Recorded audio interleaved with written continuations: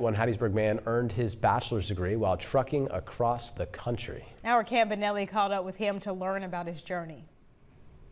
After 14-hour shifts on cross-country drives in an 18-wheeler, Hattiesburg resident Cedric Parker would study.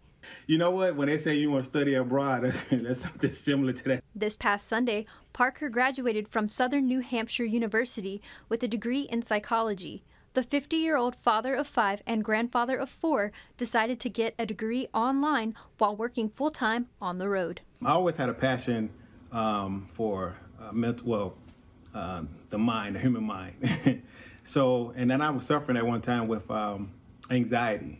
So, and once I overcame that, I just want to try to be able to help other people in that field. Parker not only ran his own truck driving business, but worked at Clearview Recovery Center as a clinical assistant while earning his degree. His supervisor at Clearview, Biff Brooking, says he's not sure how Parker did it, working long shifts and overnight.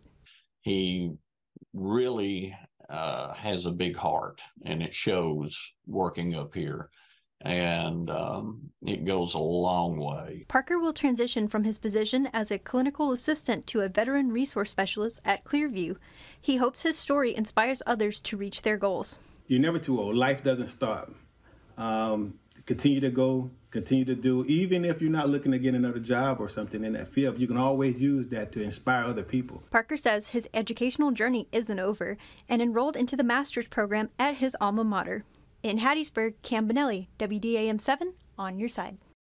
Well, Parker hopes to continue his education all the way to a PhD.